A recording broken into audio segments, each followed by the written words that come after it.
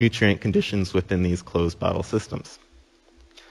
On top of that, we're also seeing changes in the light environment. So we go from uh, very optically clear conditions to very optically dense conditions. And so we end up with self-shading as our cell densities increase. So another issue that's really a problem if you're trying to look at ecophysiology. To overcome these issues, uh, some of the engineers at MBARI have developed systems uh, that are known as photobioreactors. So these are really useful instruments that allow us to maintain very, um, very highly specialized uh, environmental conditions, or very um, yeah, specialized environmental conditions where we can directly control things like temperature, irradiance, nutrient concentrations, and CO2. So this is ideal for ecophysiology. And on top of that, we're, add, we're able to add a number of different probes to look at different physiological measurements, such as oxygen consumption, uh, production in this case, uh, changes in pH, or variable chlorophyll fluorescence, which is a useful metric for, uh, for productivity and understanding how the uh, photosynthesis is changing in response to our, uh, our uh, environmental stress. So using these systems, we want to look at how Micromonas commoda responded to elevated CO2, and specifically how it responded to elevated CO2 under different nutrient conditions. Essentially, are productivity rates affected by ocean acidification, and does this differ under different nutrient regimes? Um, so we've got a uh, diagram of our experimental design here. We're taking them from nitrate replete conditions into a transitional phase, where we're bringing them back to uh, into uh, nitrate limiting conditions, and then back to replete. And on top of that, we're bringing them from ambient CO2 to elevated CO2 and back down, and then repeating it under nitrate limiting conditions. Now, over this 70-day uh, time, uh, time course, we're also measuring for the transcriptome and the proteome, because we're really under, uh, interested in sort of the molecular underpinnings of how they cope with this environmental stress. However, there's also other things we can do with this combination of transcriptomics and proteomics within the field of biological oceanography, we are increasingly dependent on metatranscriptomics to understand biological uh, response to environmental conditions. And now, the, while this is a very promising uh, um, technique, it is dependent on some baseline uh, assumptions. That is, that what's going on at the transcriptomic level is what's going on at the level of protein or at the level of biology. And so experimental designs, such as the ones that I've just uh, explained, uh, are really useful for sort of checking this baseline assumption. Is there good correlation between the transcriptome and the proteome? So starting with just some uh, basic physiology, I've got uh, growth rates up here, and not surprisingly, we see a reduction in growth rates as we move from replete nitrate conditions into limiting nitrate conditions. However, what we don't see is much of a change in response to uh, elevated CO2. We've got these little blips that occur at the uh, initial increase of CO2, but after that, once they acclimate, we really don't see much of a response.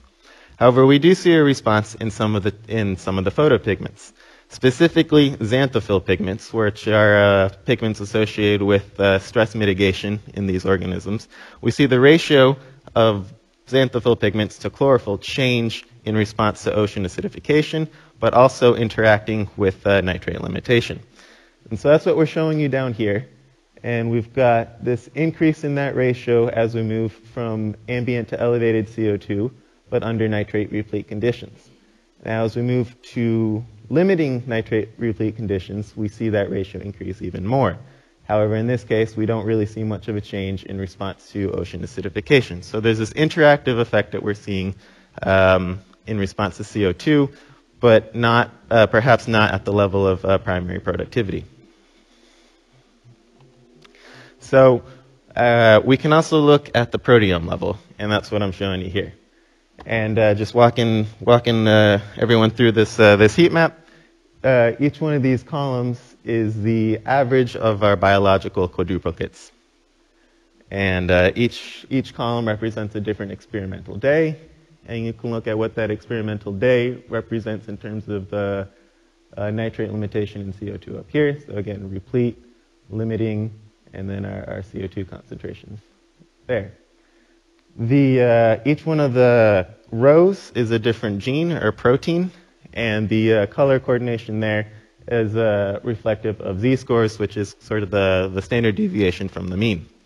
And so these are organized into different uh, responses to our, uh, our treatments. So we've got four different responses. The red one here are proteins where we see an increase in their abundance as we move from nitrate replete to nitrate limiting. The green ones here are uh, proteins which decrease in abundance as we move from replete to limiting conditions. And then we have uh, perhaps more interesting clusters here, uh, the black one here at the bottom, where we have kind of a delayed response, where they're still decreasing in abundance as we move from replete to limiting condition, but they're doing so over a longer time period. Then, of course, uh, the last cluster here in blue are proteins where they're very different under the transitional periods. So very high abundance as we transition from replete to uh, limiting nitrate, and then very low abundance as we uh, transition from limiting to uh, high abundance. So as I was mentioned before, we're interested in the uh, correlation between what's at the protein level and what's at the transcriptome level. And so we've done a lot of Pearson correlation between the, the protein and the transcript. As, of, uh, as I'm showing here, for a light harvesting protein, we see good correlation between a transcript and the protein. So we can do this with all these different proteins. And what I've done here is I've reorganized them into correlation, uh, differences in the correlation with the transcript. So proteins that are highly positively correlated with the transcript are here. Uh, proteins that are not really very well correlated with the transcript are here. And then proteins where there's inverse correlation with the transcript are down here. So I've done this with each one of these different cluster groups. And then we can look for uh, different uh, functional groups within these clusters. So we can uh, look for enrichment of particular biological terms, which is what we've got here. And so each one of these uh, bars represents a significant functional group that is found within each one of these clusters. So now we're sort of just going to cherry pick and just talk about a few of them, uh, starting with microtubule processes up here. And what this is showing is that microtubule or genes associated with microtubule processes, or the cytoskeletal structure, are very well correlated and increasing as we, remove, as we move from replete to limiting nitrate conditions. In contrast, we've got this group down here, organonitrogen compounds, where we're seeing a reduction in these uh, proteins as we move from replete to limiting conditions, but we're seeing an increase in them uh, at the transcriptome level. So inverse correlation that we're seeing there. And the take-home message from this is as we move forward with metatranscriptomic studies within the, for biological oceanography, we perhaps need to rethink how we utilize that information. It's still very valuable, but we perhaps need to identify specific molecular markers that have good correlation between a transcriptome and the proteome. And then we can utilize that to infer what's going on at the level of, uh, of biology. So just summing up what we've talked about so far, we're not really seeing much of a change in response to ocean acidification in, uh, at the level of productivity, primary productivity for our temperate strain Micromonas commoda. And this is different from what's been reported for uh, mesocosm experiments uh, as uh, in response to elevated CO2. Now, the main difference with the mesocosm experiment is you're looking at the entire community. So that's the uh, grazers that are grazing on Micromonas, and that's uh, the heterotrophic bacteria that are perhaps interacting with uh, the different phytoplankton species. And the the difference in our results here are perhaps to, are perhaps indicating that the response we're seeing at the level of mesograze or the mesocosm experiments is the influence of CO2 on either the grazing community or the heterotrophic community and the relationship that has with Micromonas as, uh, as opposed to a direct response of CO2 on Micromonas. Now we've also done this exact same experiment with a uh, Arctic strain of Micromonas, Micromonas polaris, and we again see the same response. We really don't see much of a change in productivity associated with elevated CO2. So as I mentioned earlier, we're uh, able to match these uh, proteomic and transcriptomic analyses with high resolution physiological analyses. And one of the ones I want to talk about is chlorophyll fluorescence. And this is useful because it tells us a lot about what's going on photochemically within the uh, cell. And so to explain this a little better, I'm going to take everyone back to that Z-scheme uh, we remember from basic biology. And so this is, uh, this is basically explaining the flow of electrons through the photosynthetic apparatus. And so this starts with uh, the absorption of photons by light harvesting complexes, and then that transfer of energy to reaction centers, such as the PS2 reaction center here. And then that energy is utilized to strip electrons from a water molecule, and that electron is transferred through the photosynthetic apparatus and converted into chemical energy, which can then be used for the Calvin cycle uh, for carbon fixation.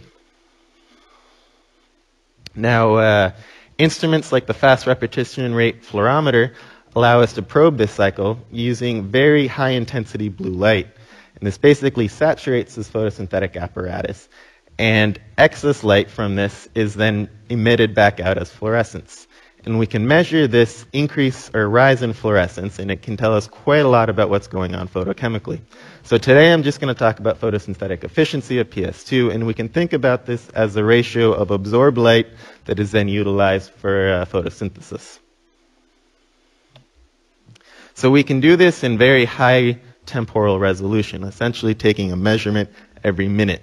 And uh, this is done throughout the entire 70 day experiment. So we have this very robust data set uh, explaining what's going on photochemically within our, our uh, algae. So we're going to zoom in here to uh, a snapshot, a three-day snapshot over nitrate replete and ambient CO2 concentrations. The orange you're seeing here represents the mean plus or minus standard error for our biological quadruplicates. And then the black line there represents uh, the light protocol. So we're trying to mimic as, as a natural light protocol as possible. So uh, rise in, uh, in, uh, in, radiance throughout the day to a midday peak, and then a gradual drop off after that. And so looking at the FV over FM, or photosynthetic efficiency, we see uh, it stays relatively high at night, and then drops down roughly mimicking or, or mirroring the, uh, the light protocol. Now we can compare this to nitrate limiting conditions. And what we're really seeing here is uh, the main difference we're seeing here is this much larger reduction in nighttime FV over FM. And this is indicative of a process known as chlororespiration, which is an important mechanism for uh, uh, stress mitigation in a lot of different algal types. And the importance, there, or the, the thing I want to uh, drive home here is this is a mechanism we really wouldn't know about if we were measuring just single time points throughout the day. This is really only, we're really only able to capture this through this high resolution technique. So we can use the same technique to look at different light protocols. And uh, up here we have our, our photosynthetic efficiency and then our different light protocols. So we've got sort of the the natural light on a very cloudless day, sort of like today. And then we're comparing that to this sort of step function lighting, which is very common within uh, algal culturing techniques. And if we look at the photochemical trace, you can really tell right off the bat that these are very different from one another. And this is indicative of different photochemical processes occurring. So this is just to point out that as we uh, delve further into ecophysiology and experimental uh, algal culturing techniques, we really need to make sure we understand how our light protocols are influencing our experiments. So everything I've been talking about so far in terms of variable fluorescence has really been about utilizing blue light to excite chlorophyll A. Now, photopigments, or uh, algae have a number of different photopigments, and they all absorb light at different wavelengths. So we can potentially use different excitation wavelengths to preferentially excite different photopigments. And this can be really useful for characterizing the role of different photopigments throughout the day or in response to different stress responses. It can also potentially be useful within mixed community cultures where we have different species of algae that have different photopigments. And so we can preferentially excite photopigments in one species and preferentially preferentially excite photopigments in another species to trace the photochemistry within both species simultaneously. So this is something that I was really interested uh, in doing in, at MBARI, and as a result, I designed and then uh, constructed a uh, multispectral fluorometer using open source hardware and software platforms like the Teensy, Arduino, and then uh, Python uh, for, for the coding. And so what I'm showing you here are the different excitation wavelengths that we use. So we've got a UV, a, a blue, a cyano, and a green wavelength. And then the uh, black line here is the, uh, the growth light we utilize, the growth light spectrum. And then down here, we have the absorbance trace for uh, the, the algae species that we were interested in. And what you can, what I'm trying to show here is that our different excitation wavelengths are really focusing on different photopigments or different parts of that absorption spectra. So I'm gonna, I'm gonna stop with the, the photochemistry here, but if anybody has any interest in, in learning more about it, I do have slides that I, am happy to discuss uh, further later on. But the take-home message from that is the uh, utilization of these open source hardware and software platforms can really be very effective in uh, designing photophysiological or any kind of uh, physiological measurements. So this is something I've already done in the past for symbiotic algae within corals to uh, compare the photopigments across different species. And this is also something that other groups are using as well. So this, uh, for example, the OpenCTD is a group that is interested in using the same uh, microcontroller platform to uh, look at temperature and, and uh, salinity gradients within the ocean. So a very useful tool for uh, developing hardware platforms at a low cost. So everything I've talked about so far has been focused on photosynthesis and molecular underpinnings of uh, the stress response in free-living algae. And what I want to uh, show is that these same mechanisms are equally responsible on the reef. We have algae within these corals that are under the same uh, the same stress uh, stressors as we do see on the on the uh, free living algae. So in this case, we're again looking at photosynthesis and utilizing many of the same tools, but in this case, we're looking at the flow of the energy-rich photosynthate from the algae into the host uh, tissue layer.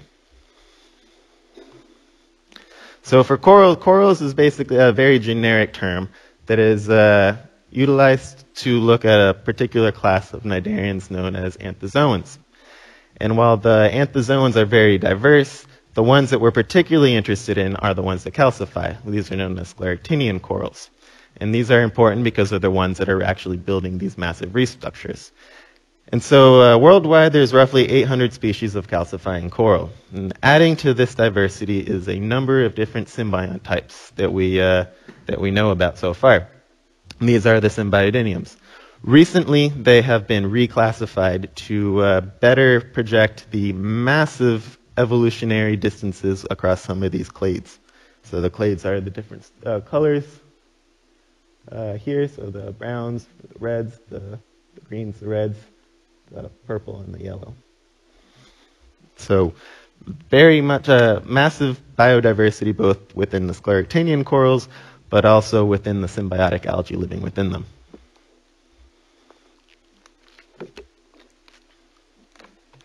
So for corals, the main thing we're really concerned about is elevated temperature, and this can have a very negative impact on the symbiosis. Essentially, it's causing a lot of oxidative damage within the symbiont, but also within the host. And when that happens, the host tends to expel its symbiotic algae. And this is what uh, that bleaching term comes from. As the symbiotic algae are expelled, they take all the pigmentation from the coral with it. Uh, basically, corals are clear without the symbiotic algae, and that's why we see this, this bleaching down here. Now, once bleaching occurs, more often than not, the, the animal dies. And so this is a kind of an unfortunate picture here, but it does uh, describe the phenomenon pretty well. So this is from American Samoa, a healthy reef uh, of a, Acropora thicket uh, in December 2014. We then have a high temperature event, and two months later we have the bleaching phenomenon, and then six months later everything is dead and overgrown by macroalgae. So this can happen very quickly and affect large uh, areas of a reef. So on top of uh, thermal bleaching, ocean acidification is another area that we're really concerned about in terms of uh, coral reef uh, ecophysiology. And again, we have this uh, double-edged sword where uh, the symbiotic algae living in specialized vacuoles of the host tissue layer are dependent on host-derived carbon concentrating mechanisms to bring in that CO2 from the seawater into the uh, specialized vacuoles where the cells are. The host, on the other hand, is also concerned with carbonate chemistry. And in this case, it's because the pH level of the layer where calcification is occurring has to be maintained at a certain, uh, a certain pH level.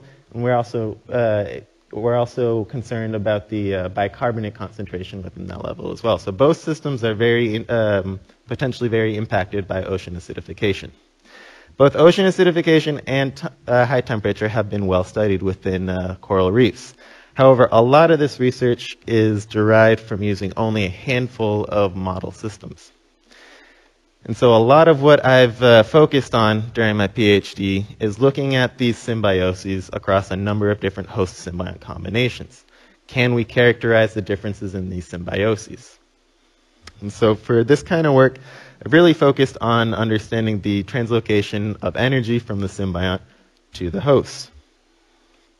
And so this is first tracing the flow of electrons through photosynthesis with photosynthetic apparatus and into carbon fixation. And the transfer of that energy-rich photosynthate to the host, and then measuring the host response as well. And so this can be done using a number of different tools, such as chlorophyll fluorescence, which we mentioned already, and also a C14 labeling uh, using a photosynthetron or uh, other, other instruments as well. And then, of course, uh, lastly, we can separate the host and the symbiont to look at individual responses as well. So one of the experiments I want to talk about today is using these three species. Two of them, Pocillopora damicornis and Montipora hirsuta, represent scleractinian corals, the ones that calcify. And then Discosoma nummiforme represents a non-calcifying species, which is very closely related to Scleractinia. And for these three species, I put them under a number of different experimental conditions. Ambient and elevated CO2, and ambient and elevated temperature. And I did that, I put them in these different regimes for roughly three weeks. So one of the other things that we always do during these experiments is we identify the symbiont type within them. And this is done by extracting the DNA and then amplifying the ITS region of the ribosomal array. These sequences, or these amplicons are then sequenced and compared to uh, previously published literature, or they can be compared within each other using denaturant gradient gel electrophoresis.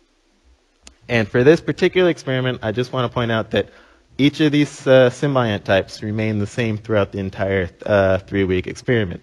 So the, uh, the symbiont types initially were the same as in, uh, the symbiont types at the end.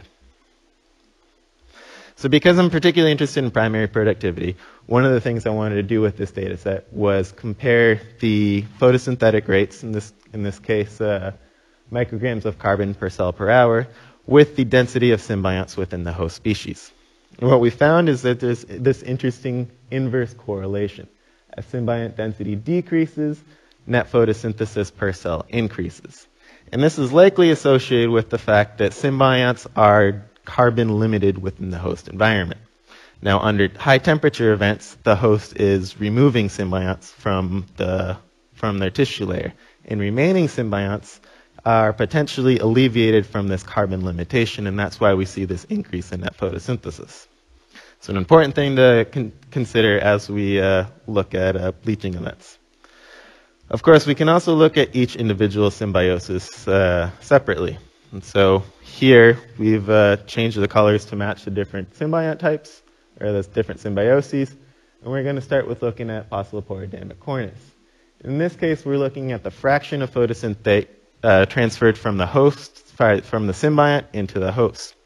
And uh, we've got uh, our bar our different bars here representing ambient and elevated CO2, and then the light and the dark represent ambient and elevated temperature.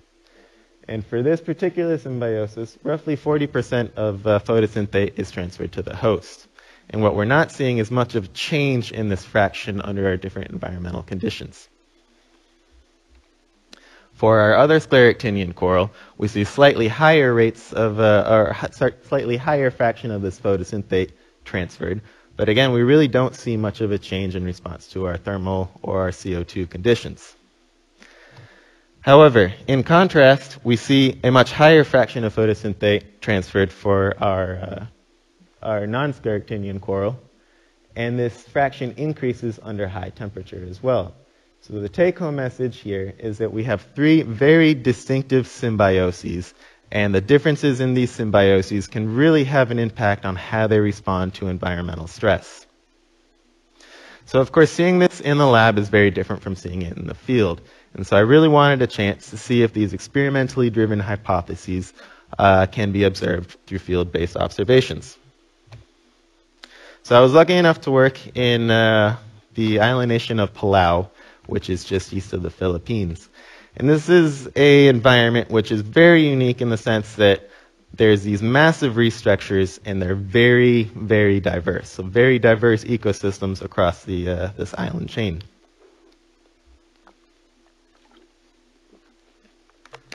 And two of these ecosystems that I want to particularly talk about are inshore versus offshore reefs. Now, inshore reefs are interesting because they have overall higher temperatures, they have lower pH values, uh, higher turbidity, and lower water movement than their offshore counterparts. Nevertheless, both systems are very productive, high coral cover, high diversity. And so this is really interesting for climate change scientists because inshore reefs are already reflective of the environment that we expect offshore uh, mid to late century according to the IPCC estimations. So they're already thriving under conditions that we expect to be very detrimental. Uh, nevertheless, there's lots of species there and they seem to be doing just fine. And uh, to sort of illustrate these two different environments, I've got these videos uh, that I'm borrowing from a colleague of mine, uh, Dusty Kemp at UAB. And we're first looking at offshore reefs and we're seeing lots of productivity, lots of uh, high coral coverage. The plating corals you're seeing everywhere are different acroporids. But the, the main things I want to point out are, are the species diversity, uh, very clear waters, uh, and then you can also uh, see some, some of that water movement. So lots of water movement. And you can compare this to inshore reefs, where we again see lots of diversity, lots of high coral coverage, but uh, we can see that it's uh, far more turbid waters and uh, far more calm waters. You don't really hear as much, uh, well, much of that water movement as you did offshore. Now, one of the great things about this system is we find a lot of the same species in both locations. And so this is ideal for doing some comparative analyses. Uh, so we chose these four species, again, because they're found in both locations. We've got Acropora muricata here in red, uh, Coelastrea aspera in black, uh, Cyphastrea chalcidicum in green, and Pachyseris rugosa in blue. And as we've done before, we first uh, identified the symbiont types within them. So first looking at inshore, all of the different coral species hosted the same symbiont type, Durusdinium trenchii. Now this is a particularly interesting symbiont because it's well known for being thermally tolerant. It's globally distributed as well, and it's uh, very uh, sort of at the forefront of, of research interest because of its thermal tolerance. In contrast, offshore, we see a number of different Clade C or Cladocopium species. These are uh, known for being far less thermally uh, tolerant or far more thermally sensitive than their uh, Clade D counterparts. So we collected these species from both environments and fragment them into these little colonies, which we then placed on tiles and allowed to acclimate to uh, their environments for roughly two weeks. We then transferred them into our experimental system here and placed them under two different uh, treatment conditions. Control systems, where they uh, were maintained at a temperature of 27, 28 degrees, uh, and treatment conditions where they were slowly ramped up to 32 degrees and then maintained there for 10 days. So first I want to show some of the differences between the inshore versus offshore populations. And so we're going to look at this figure first. The uh, different shapes represent the different coral species. The different colors, represent the light colors uh, represent uh, ambient temperature, and the darker colors in both conditions represent the higher temperature uh, samples.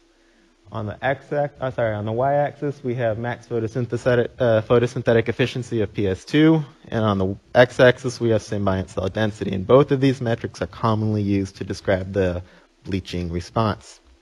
And the take-home message here is that while inshore we really don't see much separation between ambient and elevated CO2 samples, offshore there's this very large separation between the two uh, the two conditions, which is what we would expect based on their symbionts within them. So we're already seeing a very different response between inshore and offshore corals to these high temperature events. And of course, uh, I also wanted to take this opportunity to uh, look at this correlation between net photosynthesis and symbiont cell density. And again, we see this inverse correlation. So this is potentially a really useful metric or useful phenomenon to keep in mind as we try to describe how a symbiosis responds to uh, thermal stress or, or other uh, potential stressors as well. Now, of course, again, we want to describe each individual symbiosis itself. So starting with inshore corals, uh, the heat map here represents different physiological parameters that are specific to the symbiont and not the host. So we're really just looking at symbiont physiology. And again, just keep in mind that all of these species are the same Durusdinium trenchii. The only difference is the host environment they're in. So the heat map reflects the uh, fold change response in, uh, in response to high temperature. So the, uh, for example, the uh, blue here represents a net increase in photosynthesis of Durusdinium within the coral species Acropora muricata, whereas the deep uh, red here represents a net decrease in cell density in response to temperature for Durusdinium and uh, C. aspera. And what I really want to show here is that despite these all being the same symbiont type, their response to temperature is very different, as you can show, as you can see from the, the heat map. And so we've got the same species, but it really seems like the role of the host really impacts how they respond to environmental stress, in this case, uh, thermal stress. So we can contrast this to what we're seeing offshore. We have the same coral species, but in this case, they have different symbionts within them. So C21 in Acropora muricata, C3U in C. chalcidicum, and then C40 in the C. aspera and P. rugosa. Despite these very different symbioses, their response to thermal stress is very similar, as you can see from the, the heat map. Very, uh, very similar responses across the board. And so as we move forward in understanding thermal bleaching response, this is a key thing to keep in mind, is just how important the uh, symbiosis between the host and symbiont is, and, and how different these responses can be offshore versus inshore. So with that, um, I've spent a lot of my career so far studying coral physiology as a master's student and as a PhD student.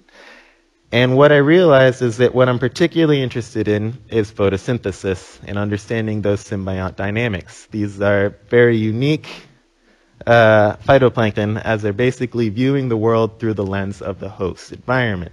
So this is everything from their nutrient, uh, the nutrients they have available to them, to the spectral quality of light they're seeing. And as I moved forward, I really realized that if I wanted to keep with this, I really wanted to get a more basic understanding of photosynthesis.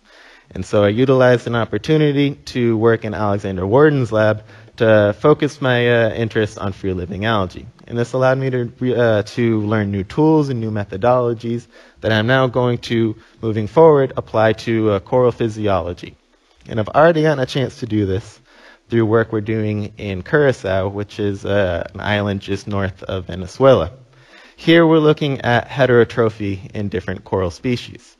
Now, we've been talking about the role symbionts play in transferring energy to the host uh, and how important that is for coral calcification. However, corals are also able to uh, consume uh, of heterotrophy, and most of what we know about coral heterotrophy is focused on consumption of zooplankton, so larger planktonic species. And this is mostly because we can see them, and so they're easy to quantify. But there's this huge picoplankton population, which represents a large carbon pool that we really don't know much about how they interact with corals. So using uh, clearance rate techniques, along with 16S amplicon sequencing and flow cytometry, we started looking at coral heterotrophy of these phytoplankton or these picophytoplankton uh, populations. And what we found is there's some interesting selective side barriers within the uh, heterotrophic bacteria, the cyanobacteria, and pico eukaryotes. Essentially, heterotrophic bacteria doesn't seem to be consumed as much uh, across these species, which is particularly interesting because they are numerically the most abundant species uh, they come in contact with. However, we do see lots of uh, um, heterotrophy of pico eukaryotes, cyanobacteria, uh, and what's interesting about this is these uh, heterotrophic rates tend to change across these coral species and across these different um, different populations of Synechococcus and Prochlorococcus. So we're already gaining some new uh, insights into the role of heterotrophy of picoplankton, utilizing some or borrowing some of these techniques from the uh, biological oceanography. So moving forward with my research, uh, UA and DISL represents kind of an ideal fit for what I want to do. Uh, here on Dauphin Island, access to uh, seawater and experimental systems really would allow me to do some of the experimental research within the lab that can then generate new hypotheses, which I could then test uh, through field work in uh, the Florida Reef Tract and uh, Flower Gardens Reef in, in the Gulf. And then through these field-based observations, I can uh, generate new uh, research questions, which can then lead to new experimental techniques or, or analyses within the lab. Of course, part of this is instrument development. And as we uh, generate new research questions, we come up with new instruments that are of particular interest to us that can be both useful within the lab setting as well as uh, within the field. So one of the things that I really want to focus on is uh, the role of acclimation strategies across different symbiont uh, species. As we talked about before, there's quite a bit of evolutionary history or uh, differences across uh, different symbiont clades. Specifically, clade A and clade B are separated by tens of millions of years of evolution. Now, both of these symbiont types are very common within the Caribbean. And on top of that, both of them are, are often found within the same coral species. So corals can either be specialists, where they only host a single symbiont type, or they can be generalists, where they can host several different symbiont types under different seasonal or different stress conditions. And Orbicella represents one of these species, which is a generalist. So this is kind of an ideal system to utilize different omic and physiological tools to identify specific markers of acclimation that can potentially differ across these symbiont types. So this is something that this area uh, and the resources at Dauphin Island and a proximity to uh, the different reef systems was kind of an ideal fit. So with that, uh, thank you very much for your time. Uh, before I just want to acknowledge the uh, large group of people I've gotten the pleasure of working with throughout the years, both for the free living algae work as well as some of the coral symbiont work that I've done during my master's and my PhD. And so these two figure, these two uh, pictures are from the different groups that, that I've been working with. So with that, thank you very much for your time.